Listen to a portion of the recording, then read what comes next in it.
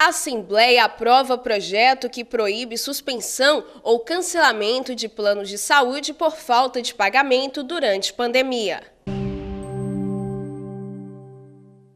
Pré-candidata a prefeita de Barra do Corda foi filiada em outro partido sem sua permissão.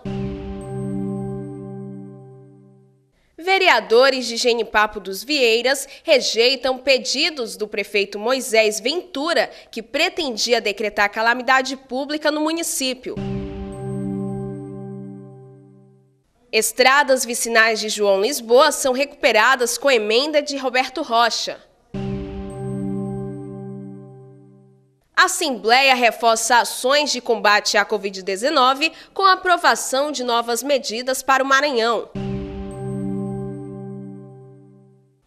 Polícia Federal prende suspeito de praticar trabalho escravo e tráfico de pessoas em São Luís.